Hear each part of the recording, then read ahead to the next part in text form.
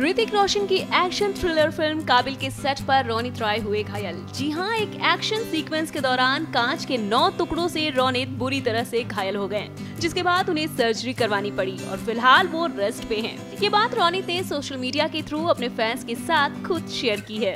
Ronit tweeted surgery went well nine pieces of glass embedded in my arm removed thank you for all your love and good wishes well आपको बता दें कि shooting में देरी ना हो, इस वजह से रोनित 24 फोर आवर्स बिना थके, बिना सर्जरी करवाए काम करते रहे। एंड दूसरे दिन जाकर उन्होंने अपनी सर्जरी करवाई। एंड हॉस्पिटल से घर आने के बाद रोनित ने ट्वीट करके ये बात अपने फैंस को बताई। Ronit tweeted back home after the surgery resting today gives me time to appreciate the gulmohar trees in पर आपको बता दें कि रोनित की इस फ़िल्म काबिल को राकेश रोशन प्रोड्यूस कर रहे हैं, जो कि 26 ऑफ़ जनवरी 2017 को रिलीज़ होगी।